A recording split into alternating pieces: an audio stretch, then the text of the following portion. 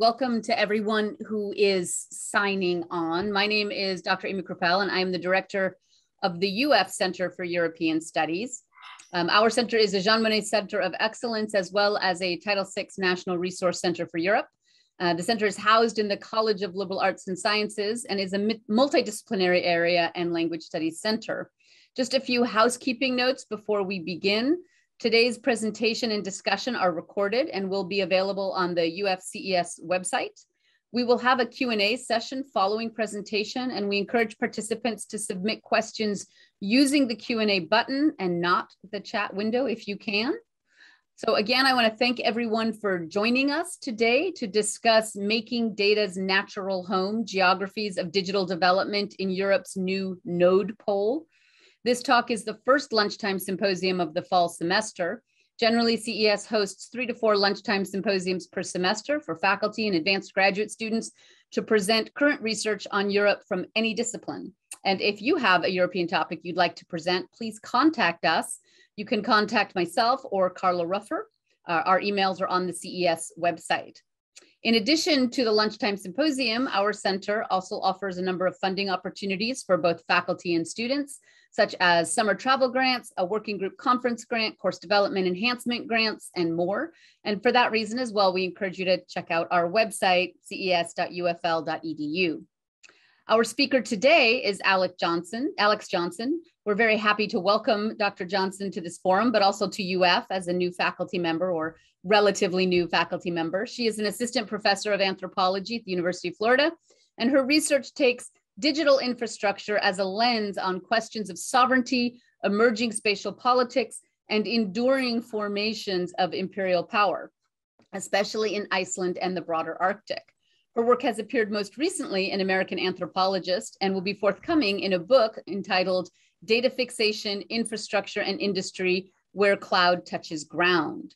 And we're very fortunate that today moderating our Q&A session is Dr. Brenda Chalfin, Dr. Chalfin is the director of UF Center for African Studies, which is also a Title VI uh, area studies program. She's also a professor of anthropology. Her research interests include anthropology of the state, inter international commerce, commodities, globalization, bureaucracy, and borders.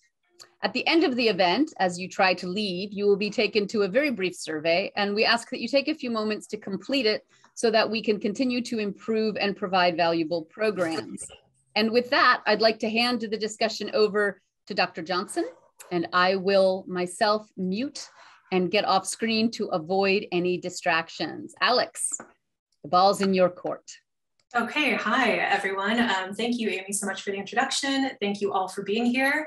I'm really looking forward to sharing some work with the Center for European Studies, and I'm especially looking forward to being in conversation, first with Brenda and then all of you. So I'm going to go ahead and share my screen and do the thing that everyone does, where it takes a second, um, and then ask you to confirm that you can see what I'm showing you.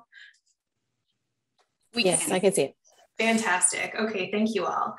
Um, okay, so um, today I'm going to present a piece of research that forms a part of a now eight year long ethnographic project about the relationship between data and place. And I got interested in this relationship between data and place precisely because of the ways that it tends to get erased in our dominant discourse. The cloud, for example, conjures an image of diffuse ephemerality, a sense that our data is everywhere and nowhere at once. And it's, as it's become possible to store and process data at a distance, computation has become distributed. Rather than taking place on servers inside our homes and offices, it gets outsourced to data centers sited around the world. To appreciate this, we need only ask ourselves where the last music we streamed on Spotify came from or where the last document we saved to Dropbox went. But just because the location of our data isn't obvious doesn't mean that it's unknowable or immaterial. In asking where all of this data is going, I found that more and more of it is headed north, toward the Nordic countries, and particularly Iceland, where data storage is a rapidly growing industry. So in the broader project, I ask what draws data centers to this location, how they are made to fit into social and material landscapes here, and what kind of impacts this process has had for both Icelanders and digital infrastructures. I explore the ways that data storage in Iceland gets entangled with natural environments, national identities, and post-colonial politics. And in today's talk, I'll focus primarily on the first of those three terms. Today, I wanna think about the ways that storing digital data is being framed as a natural fit in Iceland, asking how this discourse works, what it achieves, and what it obscures.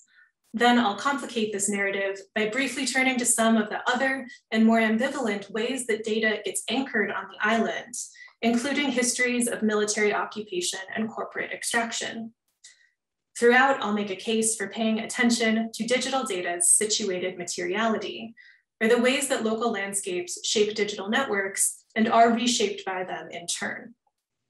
And I'll say that today, um, what I'm trying to do is offer a kind of broad overview of a place and an industry and a set of processes that I know not everyone is intimately familiar with. And so I'm gonna jump around a little bit between field sites, between projects, between interlocutors. Um, I'm hoping that that winds up to be being coherent, but I'm happy to delve deeper into any of these in the Q&A. Okay, data's environments. In 2015, midway through my research on expanding data storage infrastructures in Iceland, I traveled to a conference called World Hosting Days, the self-described world's most important event for the hosting and cloud services industry. Held that year in an off-season amusement park in Germany, the conference boasted both an impressive lineup of speakers and a bustling exhibitor hall, which, as you see here, is where sales representatives showcased their wares. The products of the so-called cloud services industry, which was valued at $50 billion last year, are numerous, ranging from servers to software, cooling systems to security services. But it is not only companies jostling for market share, it's also countries trying to sell themselves as data center sites and benefit from the land leases, power contracts, and bandwidth sales that these facilities can bring along. The Iceland booth pictured here is one such example. Designed by a state company called Invest in Iceland, which generously invited me along that year, the booth makes the rounds through trade shows like this one, hoping to attract potential investors. And Iceland is far from alone in this project. During my weekend at the conference, I visited booths by Luxembourg, Germany, the Netherlands, and more. But what set the Iceland booth apart at World Hosting Days and you can see in this photo how it stands out from the pack, is the way it emphasizes Iceland's environment. Swathed in the colors of Aurora Borealis and featuring on its other side high resolution images of snowy mountains and stunning waterfalls, the Iceland booth leans into Iceland's natural assets. And it works. Over the course of that weekend, I watched his head swiveled toward it, drawn in by the maximalist aesthetic in an otherwise anodyne conference hall. Over the course of my broader research, I've watched as large data centers have proliferated in Iceland, with one going up at the start of my fieldwork and eight more operational by its end. To make sense of this convincing link between data and Iceland's environment, I want to start by saying a little bit more about what data centers are and do. So a data center, also known colloquially as a server farm, is simply a place where multiple and sometimes many computer servers are run at once. But beyond that baseline definition, data center becomes a flexible category. A data center can be an in-house operation, for example, containing the data of Google or a branch of American government, or it can be a co-location center where multiple clients lease space and infrastructure. A data center can be a server room in a corporate basement, or it can be the China Mobile facility in Hong Kong, currently the largest data center in the world, clocking in at 7.7 million square feet. And while most data centers look like nondescript warehouses, segmented by racks on which servers are stacked, innovative designs range from experiments with underwater storage to speculation over shooting data centers into space. However, across all that variation, what virtually all data centers have in common is that they consume enormous amounts of electricity and can produce enormous amounts of heat. So all computational processing generates heat as a byproduct, and this is the same heat that you would feel on your legs if you leave your laptop running there too long. When too much heat is generated, computers run inefficiently. More and eventually they burn themselves out. Preventing thermal disaster then becomes a non-trivial issue in a data hall containing hundreds or thousands of servers snugly arranged on dozens of racks. Power then used both to fuel servers directly and to keep them sufficiently cool is essential for data centers to function. Power, as one developer I interviewed put it, is the driver in the data center game. In fact, data storage is one of the most energy intensive industries operating today. Commercial data centers routinely report electricity consumption roughly equivalent to that of small towns. In 2015, data centers consumed 416 terawatt hours, or roughly 3% of all power generated worldwide. Or as the NGO Greenpeace put it, if the cloud were a country, its energy consumption would be the fifth largest in the world. These significant impacts have become a focus of a wide range of scholarship, insisting that we turn our attention to data's very real materialities. And as computation has emerged as a significant contributor to anthropogenic climate change, energy consumption has also become a pressing issue for the data storage industry, not only as an outsized operational expenditure, but also as a public image problem effectively shamed by env environmental scholarship and reporting, many of the major tech companies have now declared their commitment to reducing their carbon footprints. And in the search for a way forward, more and more of them are turning north. Because as it turns out, if the temperature around a data center is colder, the energy required to cool those servers is also reduced. This realization has resulting in emergent concentrations of data storage in cold places. So in 2013, Facebook built a data center in Sweden. Google has run a facility in Finland since 2011, and Microsoft announced its plans to build two data centers in Norway in 2018. In addition to the server farms, bad puns have proliferated. The Nordic region is now known in the industry as the Node Pole. Iceland, with its coastal winds and long winters, seems ideally situated to get into the game. But on top of its cold, which cuts down those air conditioning requirements, Iceland's abundant hydroelectric and geothermal energy, which comprise 73 and 27% respectively of electricity on the national grid, so almost 100%, make the island an especially appealing locale. Iceland is one of few countries that produces more energy than is or could ever be consumed domestically. And so data centers constructed in Iceland claim not only the cost break of ambient cooling, but also the distinction of being clean and green. Iceland, it would appear, is digital data's natural home. These at least are the associations emphasized in promotional material produced at the contact points between Iceland and industry. In addition to the Iceland booth, take for example, this still from a video made by Invest in Iceland, the state agency tasked with attracting foreign direct investments. Entitled The Coolest Location for Data Centers, the short film opens with a sweeping pan across a series of iconic Icelandic landscapes, soaring over black lava fields, glacial ice, and lush pasture lands. But when we finally reach the top of a snow-covered mountain, the camera takes us back down and dives into a convincing CGI rendering of a server farm. As we land on a view of servers humming away inside, the closing shot reads, from pure power of nature to your clients. The aesthetics of this visual tour overlap strongly with Iceland's highly successful tourism campaigns, some of which I'm sure you all have seen, but instead of we viewers imagining ourselves into these stunning landscapes, it is our data which we are meant to picture fitting in here. Or take this image from a promotional brochure produced by Landsvirkjun, the Icelandic national power company. Landsvirkjun, which runs 14 hydropower stations, two geothermal plants, and one wind power field, is poised to benefit from long-term electrical contracts with data center developers. And so they too make their case to those developers with reference to the Icelandic environments. In this image, we see Icelandic nature blended even more seamlessly with information infrastructures. Here, the server racks form a feature of the landscape akin to the mossy mountain nearby. with only a faint tire track visible between them, gesturing toward the work that went into making this arrangement. This engineered image of symbiotic coexistence calls to mind the words of one British developer who once told me, Iceland is where evolution would put a data center. Finally, and to be clear, I could do this all day, but I think that you all get the points. Here is the landing page for a data center that I will call Arctera, the first commercial scale data center to open in Iceland in 2012.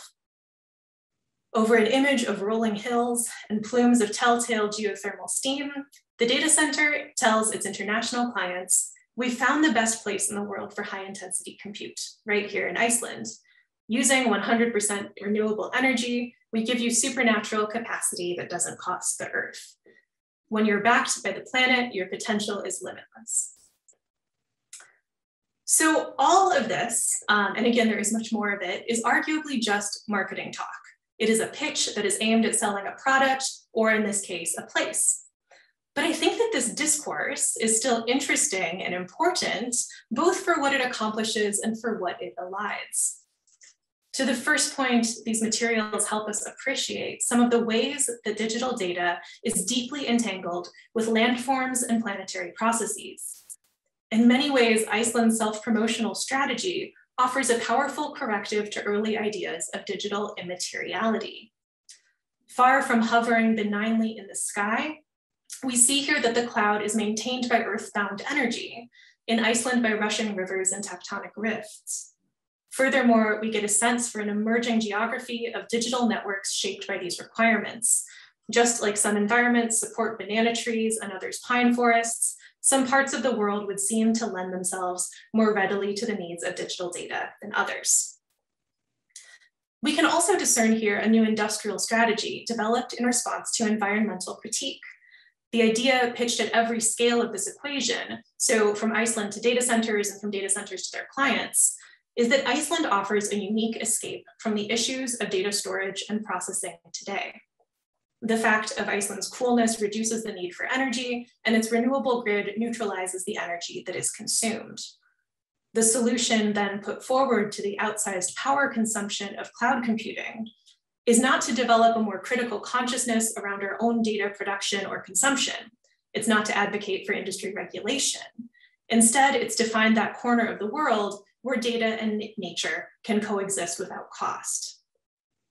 This, I think, is an aim that's worth interrogating and one that I'm going to come back to. But just as important as what these promotional materials showcase is all the things that they leave out.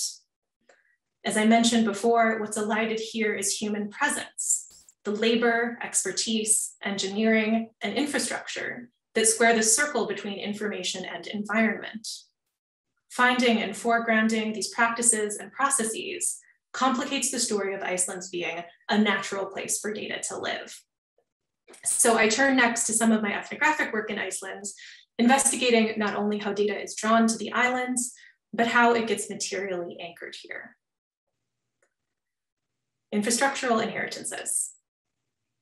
So this again is that advertisement for the data center I call Arctera, located in the southwestern region of Reykjanes, which is where most data construction, data center construction in Iceland is concentrated today. And this is what that data center actually looks like. Now we can see that the data center is not divorced from nature. You can note the purple lupina flowers that are lining the road. But what is more immediately evident in this picture is the infrastructure. So we can see the huge generators at the back of the building, ready to spring into action if the energy grid goes down. We can see the fan and filtration system at the top of the building, channeling in that famously cool Icelandic air. We can see the road offering access to the data center and the security fence limiting that access in turn. All these elements, as well as those we can't see, like the fiber optic cables connecting this data center to the world, are as integral to running a data center in Iceland as its environment. And looking more closely into these infrastructures situates data in Iceland differently. Stefan, an engineer employed at Arctera, offered me one way of doing so. Born and raised on the Reykjanes Peninsula and one of few Icelanders that Arctera had hired, Stefan sometimes let me shadow his work at the data center, as well as ask him questions off the clock and was generous in expounding more broadly on his experience. One day, as he walked with me through the construction site of his company's latest expansion, Stefan asked me, You know what got us connected in the first place? And he answered the American military. Stefan was referring to the fact that Arctera was built in the footprint of a former US military base. Active from 1953 to 2006 and pictured here in 1954, the Naval Air Station Keflavik, more often known as NASKEF, was built as a bastion in the North Atlantic, a buffer between the East and West in the Cold War. The base started out as a bare bones air station but it was quickly expanded to cover over 20,000 acres and host around 4,000 active duty personnel. The base's surveillance functions were essential to the US military, which earned NASKEF the title of the anti-submarine warfare capital of the world. But like so many other bases built during that period, NASKEF also functioned as its own enclosed and self-sustaining community, the kind of place Terry Gilliam has called America towns abroad. NASKEF also transformed the region of Reykjanes. The base quickly replaced the fisheries as the major industry on the peninsula, and thousands of Icelanders crossed through the base's armed checkpoints to work in contracting, food service, accounting, and IT. NASKEF, again, like many sites of American military occupation, was always a contentious presence in Iceland, and many on resented its influence deeply. At the same time, the base became a source of steady paychecks, on which almost everyone on the peninsula relied. This much, at least, I knew already from living on Reykjanes and spending time with its residents. But Stefan that day was drawing my attention to the ways that NASKEF created infrastructural pathways that would outlast the military occupation itself. Back at the construction site, Stefan gestured expansively around us as he told me that it was NASKEF that transformed the road into Reykjanes from a gravel track into a major highway a project that was funded by US dollars and executed by Icelandic laborers. It was NASKEF that built up what would become Iceland's international airport, which today allows foreign clients to conveniently drop by. NASKEF paid for the phone line between the Reykjanes and the Reykjavik and hastened already existing plans to build a fiber optic ring around the islands. And it was NASKEF that extended a sizable cable from the electrical grid to supply the peninsula with ample power. More specifically, the US offered a low interest loan to complete a major hydropower project in exchange for the guarantee that a power line would serve the base.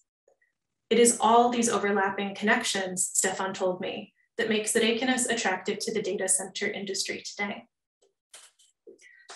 Later on, I would sit with one of Stefan's colleagues over coffee and ask him about the influence Stefan had described.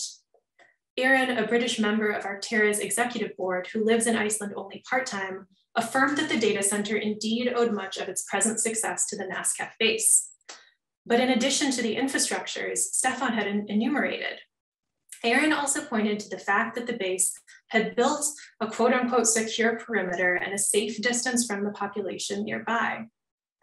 That NASKEF was set off from the nearest town by a major roadway and surrounded by the now defunct security fence has proven appealing to facilities like Arctera, which contain, as Aaron casually estimated, billions of dollars worth of data.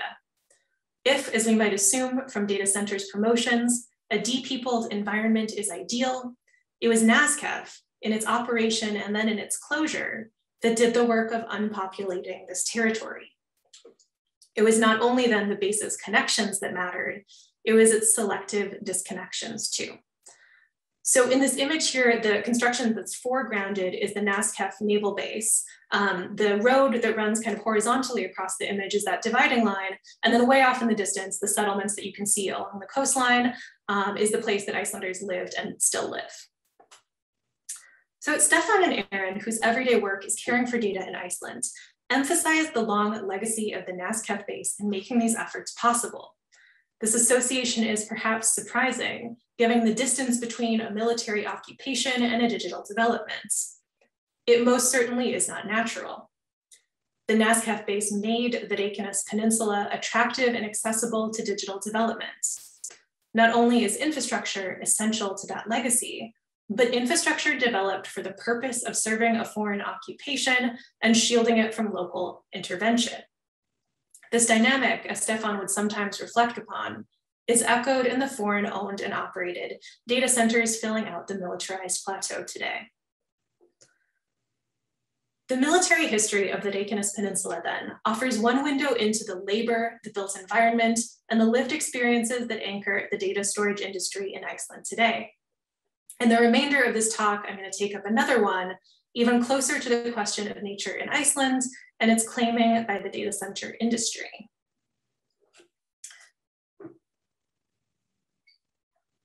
So what you see here is Kárahnjúkavirkjun or the Kárahnjúkur Dam. The body of the right here, of the body of water to the right here used to be Jökulsá á Dal, but today is known as the Hálslón Reserve. The largest of dozens, if not hundreds of dams in Iceland, Kárahnjúkur represents another major infrastructure that undergirds the data storage industry, and also another history of lo another local history of foreign influence because the water that cascades down onto the turbines at this power plant, generate, generating 4,600 gigawatt hours as they go, does not power the nearby Mulathing municipality. It goes to the Alcoa aluminum smelter instead. Kárahnjúkavirkjun and its connection to Alcoa offers another entry point into understanding the infrastructure that undergirds data centers in Iceland and the contested history of its development. Iceland, as we've already seen, is celebrated for its energy, with a grid comprised almost entirely of renewables, producing five times more electricity than its people need. This abundance is what attracts data centers to Iceland and what enables them to position themselves as clean and green. And yet Iceland's energy machine wasn't made for its own sake. As academics, industry representatives, and activists all told me, energy production in Iceland has followed a path of twinned development. It was a power plant for an aluminum plant, Pieter told me simply in the kitchen of his Reykjavik apartment. A historian of science, Pieter's research has been particularly focused on the politics of energy. Of course, he said Icelanders had long dammed rivers and tapped into geothermal streams for their own use, even building out robust municipal systems at the turn of the 20th century. But the industry of, of energy started in 1969 when Rio Tinto, a Canadian corporation, opened an aluminum smelter in Iceland in conjunction with a geothermal power plant nearby. Aluminum smelting is the process of extracting the oxide alumina from bauxite and losing, using electrolysis to turn it into aluminum. Energy intensive and heavily polluting, smelting is an unpopular but profitable industry that would transform the Icelandic economy and energy sector. In 1998, another, this time American smelter, was built in the town of Grundartangi, along with another geothermal power plant. In 2006 came the Alcoa smelter and the controversial Kárahnjúkur Dam. Today, these three smelters use a whopping 80% of Iceland's energy, but they are equally the reason so much energy is made. Iceland's grid was expanded to serve the needs of heavy industry. In other words, Iceland's exemplary production of green energy is inextricable from its use as an offshore aluminum smelting site. This coupled expansion of power production and power intensive industry is deeply controversial in Iceland.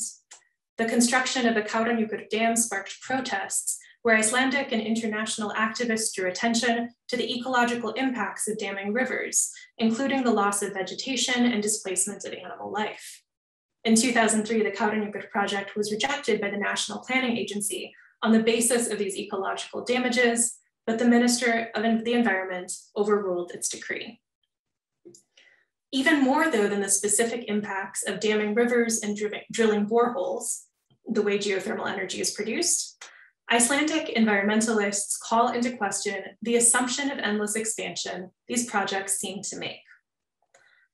Government and industry both like to claim that Iceland has more than enough energy to go around, citing 30 terawatt hours as the island's annual hydropower capacity.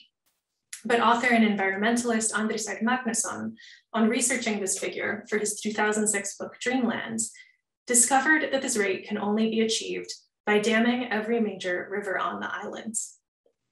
Further developing energy resources then means making meaningful sacrifices in the name of economic growth. Furthermore, doing so links Iceland indelibly to the interests of international aluminum companies not known for their corporate social responsibility.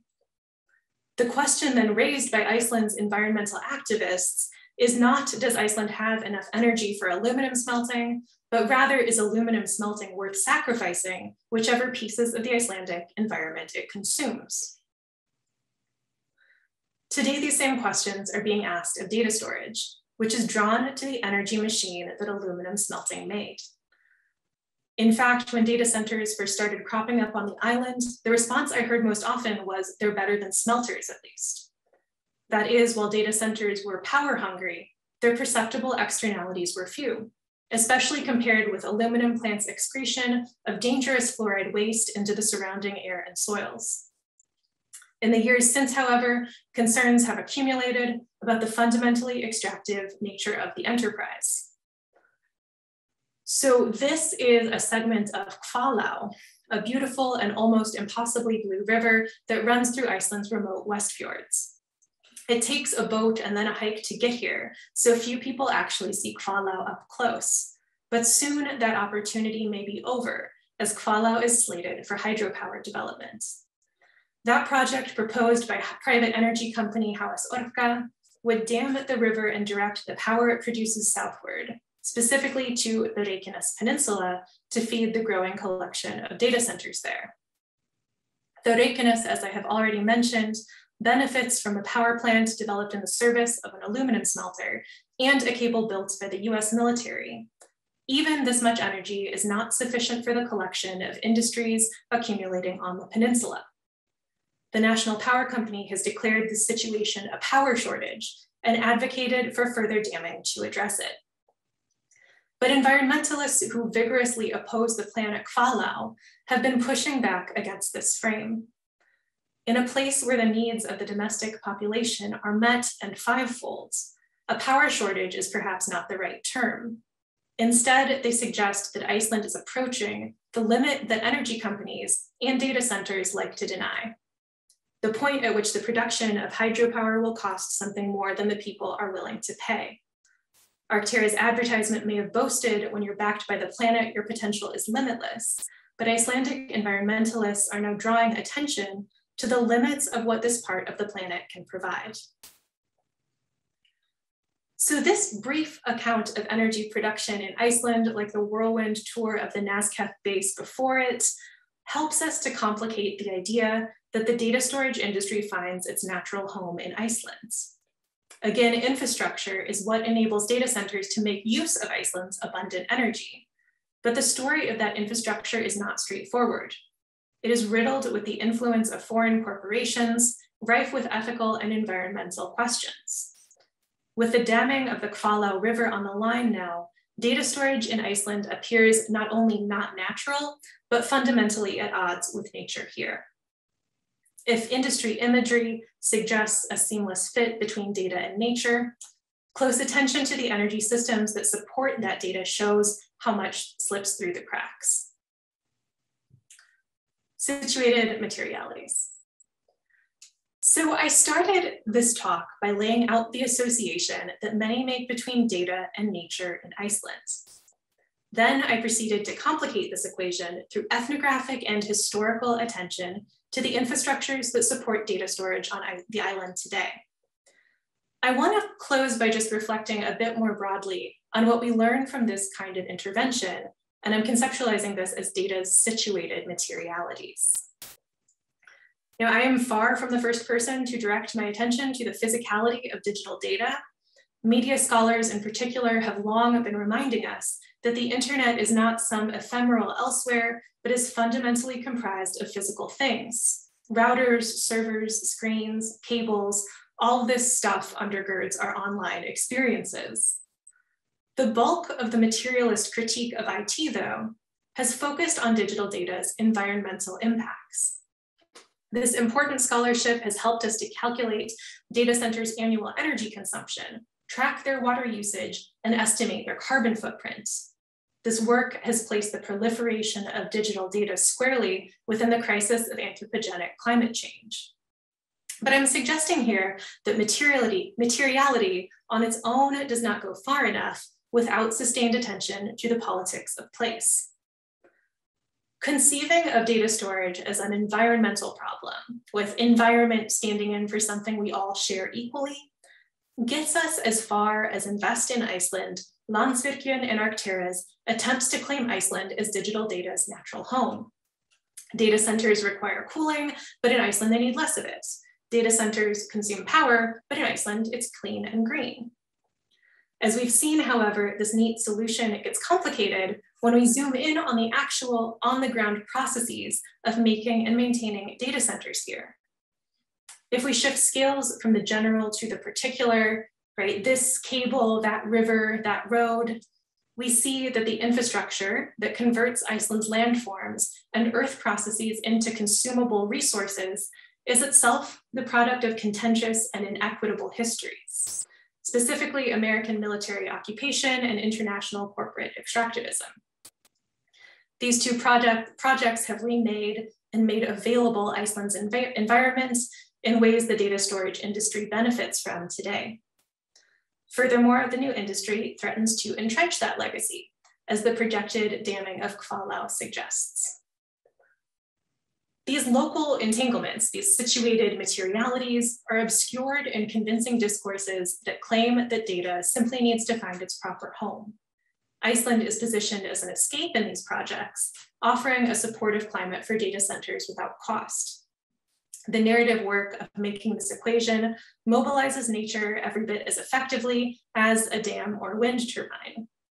But ethnographic attention to the ways that data gets placed can help us see past the so-called pure power of nature to the ways that power, electrical and otherwise, have been infrastructured or organized in durably inequitable ways. And these conversations are only going to grow more important as our digital data continues to proliferate. To go back to that World Hosting Days conference that I started with, one of that year's featured speakers strutted onto the main stage, making the following promise. Quote, there's one topic that I promise you won't hear anyone talk about over the next couple days at this conference, and that is to compute less. Cisco is not going to talk to you about their slower networks or HP about reducing their capacity in compute, right? Data is growing and it's growing exponentially, end quote. When he said this, the room, a who's who of the cloud services industry erupted into a raucous applause. There's lots of money and indeed plenty of useful products and services to be made in data storage and processing. But when we view data in terms of its situated materialities, we can read the trade-offs inherent in these claims. Where our data goes matters, not only for tech companies, but also for fishing towns, glacial rivers, and the mating grounds of migratory birds. As we make more of it, reckoning not only with the what of our data, its quantities and contents, but the where of it will become a collective responsibility. Tracing the infrastructures, inheritances and impacts of digital data in Iceland is one way of bringing into view the stakes of this work and of bringing the cloud back down to earth. Thank you. Um, I'll stop there and I'll just leave this up for a moment with my contact information um, and some places that you can read more. Thank you so much for that, Alix. That was really um, a very compelling overview of the complexity and the breadth and the historical depth of these processes of situating new industries and these particular kinds of edge spaces. And we know that islands often attract kind of novel forms of investment and are in some ways particularly available for um, some of these experiments, whether it's experiments in corporate structure or even experiments in kind of making new technologies. And you've shown very well um, these technologies, the ways in which they harness nature and even work against nature. So I really appreciate um, the sense of the kind of layers from the, the geology of Iceland to the layers of uh, military infrastructure and then you know how the cloud kind of lands and um, kind of takes root um, within those locations uh, I want to just alert the attendees and the participants about the Q&A function. Um, so we already have one question coming up here. It's actually four questions. So let me read that and um, you'll be able to respond. Um, can the data centers really coexist without a cost to the environment and with a benefit to the local community? So what's your opinion on that? Um, and the US has twice as many data centers than the EU. How can European policies and activists keep the data center sustainable in a way that's different from the US? So let's start with those two questions and then we can move on to the rest. Sure. Um, thank you for the questions. I appreciate that. And I also appreciate the um, you're pulling out some of the threads that I was getting at in that talk, Brenda. Um, so, okay, can data centers really exist without a cost to environment and benefiting local communities? Um, they don't. They don't anywhere that I know of. In terms of can they, I mean, I'm sort of, uh, I'm trying to figure out how to answer this question, right? Because I think anything can be made to exist that way, but is it going to be? And are we doing the work of compelling it to, right? So um, there are really interesting experiments in building data centers that, for example, use the heat that is produced um, by the servers to uh, provide heating to the surrounding town, right? That's an example of kind of a technological innovation that can um, make use of this industry that's already there and be of a very concrete service to a local community those experiments are not without their own problems and their own detractors. You can see uh, Julia Velkova's work um, explores that in detail. And also they're very, very few and far between, right? The vast majority of these things are not even thinking about impact on the local community um, and at most thinking superficially about impact on the environment. And so can data centers do this? I think certainly they could. Um, I think the sort of more pressing question is, are we going to insist that they do? Um, the second question here, okay, the US has more data centers than the EU. How uh, European policies and activist efforts to keep data centers sustainable are different than in the US? Yeah, that's a really, it's a really good question. And I'll say upfront that I am not at all an expert in EU regulation, which is its own field. Um, what I can say is that um, environmental restrictions are much, much tighter in Europe than in the US, right? Um, so a lot more of this stuff gets caught at the layer of, of regulation restriction in Europe, um, whereas a lot more in the US really falls on the backs of grassroots activists. So Mel Hogan is someone who's written a lot about environmental activism in Utah around the water consumption of the NSA data center. Um, so much going on in that space. Um, but I would say that Europe in general has stronger environmental protections that do kind of capture a lot of these uh, energy intensive industries. Although again, I will say aluminum smelting in Iceland is 30% of the country's exports and 80% of the country's energy. So clearly those regulations on their own um, are not uh, are not kind of adequately intervening in a lot of these processes. We have um, some further questions, um, but I, I want to go to the next set of questions um, regarding the physicality of digital data. Um, and does Iceland's active volcanism pose any sort of threat to the continued development of these server farms? And there's a second question there about the geopolitical consequences of concentrating data centers in this node pole in terms of defense and security and protection. Sure, great questions. Um, does Iceland's volcanism pose any sort of threat to the continued development of server farms in Iceland? So I'm, I'm living in Iceland this year. Um, I'm currently on leave and I'm back in Iceland writing and doing research. And um, pretty much the week after I got back here, um, a, a, like over 5,000 earthquakes a day started happening. Like the ground started shaking and just did not stop for, for weeks and weeks and weeks. And then after about three weeks, a giant eruption started and has been flowing lava for you know eight months since. You might have seen this on the news. It's really cool. It's very beautiful. Um, so volcanism is a regular, routine feature of the landscape in Iceland, and it does come up in these conversations about developing digital infrastructure here. So more than once, in uh, kind of corporate events like the World Hosting Days conference, I saw Icelanders or folks who are trying to attract data centers to Iceland make these very beautiful nature-oriented pitches um, that kind of uh, work really hard to keep volcanoes out of the frame. And the first question is always like, but what about the volcanoes? Um, the, the fact about the volcanoes is that Icelanders know where they are and they've known for a really long time. And so they're, they're sited really far away from settlements and infrastructure. The likelihood of a volcano actually causing problems for anything more than a few farms um, is very, very, very low. But what's interesting, I think, about that dynamic is the the kind of the other side of like making this pitch based on nature, right?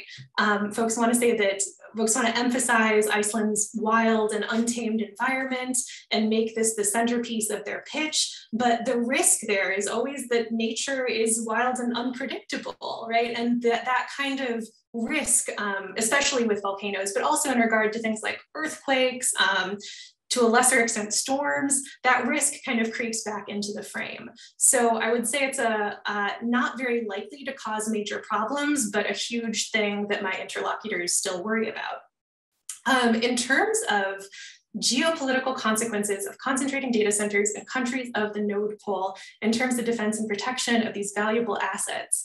Yeah, so I, I do a lot of work um, outside this talk on data center security, which is a a really um, wild and interesting field. These places, as you might have seen in that one picture of the data center with the security fence, um, are highly securitized environments. And it's no coincidence that that one was built on a military base, right? The secure perimeter, the safe distance from the population tells you um, that uh, protection is taken quite seriously here.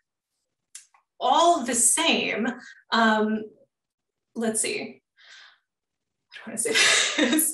um, all the same, Iceland was the site of a really high profile server theft in 2017 and 2018, um, where millions of dollars worth of equipment were stolen right out of data centers here.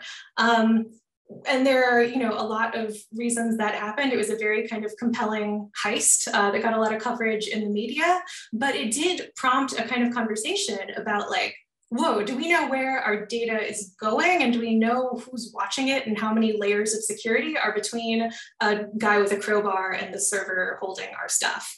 Um, so I think it's a really active, open conversation. I can say that those kind of breaches are really rare. And since that happened, um, I'm told that security is tightened, but there's a little bit of a black box around data center security um, in that they don't want to share a lot of that information because they don't want to give you the information you need to get inside. Um, so I think, you know, the raising geopolitics here is, is an interesting kind of additional point um, it's another factor that shapes where our data flows and goes, right? In addition to these sort of environmental incentives, there's also conversations about, well, who's an ally or whose police force are we willing to trust? Or, you know, when it comes down to it, is this government going to let another government access my data? Those are all very, very active questions in the industry that are not definitively answered yet. I'm going to raise a clarifying question of my own. Does Iceland have a military? No. So Iceland um, is one of the only countries without any kind of standing army. What Iceland does have is a coast guard, but they are primarily responsible for search and rescue operations off the coast. However, um, because Iceland hosted the US military base for over 50 years, um, the US really, but more broadly, NATO continues to have a presence around the Icelandic airport. And so there will be kind of like patrols that fly through. NATO does exercises in Iceland, and sometimes the Icelandic Coast Guard will collaborate with that, but they don't have their own military. Okay, I want to go back to the questions of um, the first attendee, um, which gets to the geopolitical issues regarding if you have a server in Iceland, in Europe, um, is that better than having it in the US or even China?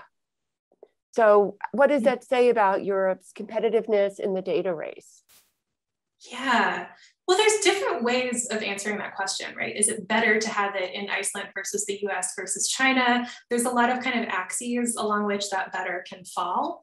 Um, one of the most important ways of thinking through this question is around kind of concepts of data sovereignty.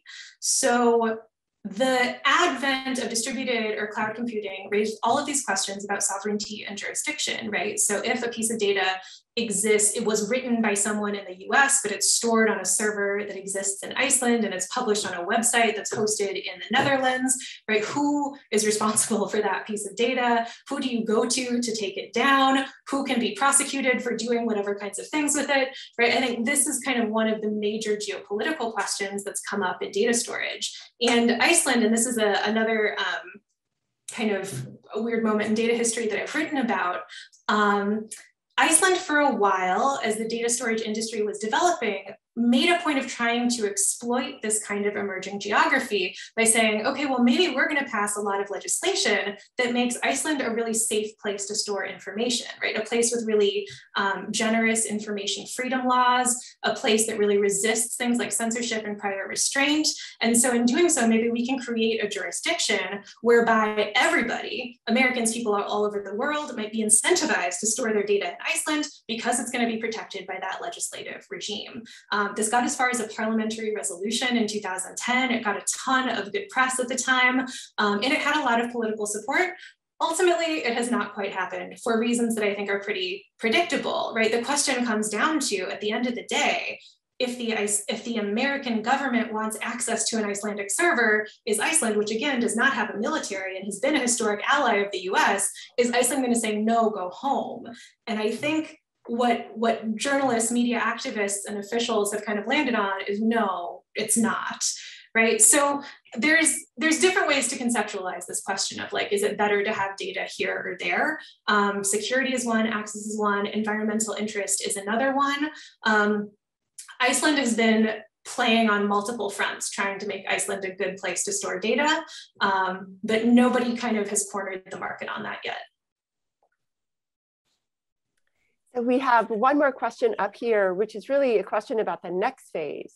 So if these data centers actually eventually move underwater, um, how do you imagine that these spaces and infrastructures might be repurposed? Yeah, so there's a there's a couple dynamics there that are kind of interesting. Like I mentioned in the talk, there's a lot of there's a lot of uh, innovation going on in the data storage industry, right? People are always trying to make these things smaller, more power efficient, um, and sort of crucially less attached to local communities, which you can see as a good thing and a bad thing, right? Like companies want to um, not get taken to task for their impacts. And so they're kind of withdrawing themselves from that equation altogether by trying to shoot their data into space. Um, but the move toward underwater infrastructure is interesting because it would free up all of that space they take up on land, right? These things wouldn't be eyesores, they wouldn't be noise polluters. Um, people, environmentalists might have less to complain about. But at the same time, and there's a really excellent article that's coming out in the next issue of New Media and Society called The Pacific Future of Data Centers. Um, which makes very clear that moving data storage underwater does not eliminate the problem of infrastructure, right? So um, all of these like underwater cooling mechanisms, the releasing of heat, all of these things have impacts on marine environments, which we're sort of very liable to ignore while we're on land. Um, and also, depending on where these things are put, they're not necessarily less socially impactful off land. So this uh, forthcoming article, um, and I was a reviewer, so I don't know the author's name, but it's coming out in the next issue. Um, goes into the development of offshore data centers in Hawaii and talks about how for indigenous Hawaiians, the ocean is every bit as much a part of the environment, as much a part of sociality and politics as land, right? And so moving these things literally offshore is conceptualized as a way to kind of divorce them from the political and social problems in which they're currently very deeply enmeshed. Um, but I think for both infrastructural and also kind of socio-political reasons, that won't necessarily be the case. We have about five minutes left. Are there any more questions from the audience?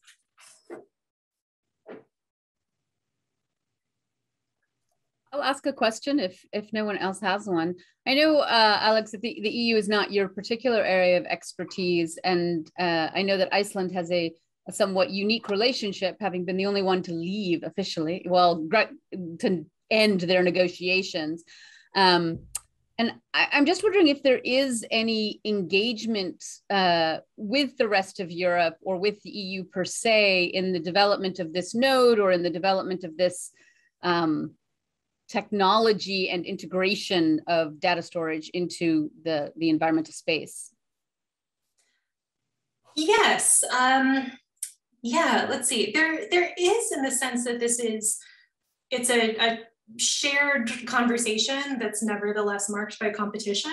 And so there are you know european specific conferences collaborations grant funding that go into this kind of development um, and also and this is both um, I think kind of a natural product of this stuff being a, a, marketplace and also Iceland's specific history of kind of otherness and exceptionalism. Um, Iceland is always trying to distinguish themselves from those places, right? So um, the, the island thing Iceland is always uh, trying to sell, the environmental, um, the green energy production is what really distinguishes Iceland. And so there are definitely points of collaboration um, and there is a kind of Europe-wide conversation, but I would say that Iceland and very very characteristically, given its history, um, distinguishes, distinguishes itself from that kind of pack. Um, and security is actually one of the fields um, that differentiates them. So when I was at that World Hosting Days conference, for example, I spent uh, multiple hours listening to the Luxembourg people telling me about how safe their data centers were. Um, and over at the Iceland booth, they make jokes about like, why do we don't need to worry about security? We're a tiny island in the middle of nowhere. What we can offer you is cheap power, right? So um, there, there are sites of European collaboration, but I think this is also one of many places where um, distinction within the EU and even within the Nordic kind of family comes into play.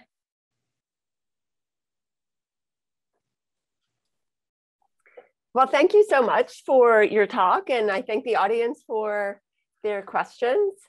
We look forward to seeing where your research goes, Alix, and to your forthcoming book. Thank you all so much for having me. It's been great. Thank you very much, Alix. And thanks to our audience members and to Brenda for agreeing to moderate this. I hope everyone has a lovely day and enjoy Iceland. Enjoy the snow that apparently you are uh, receiving. Thank you. I'll try.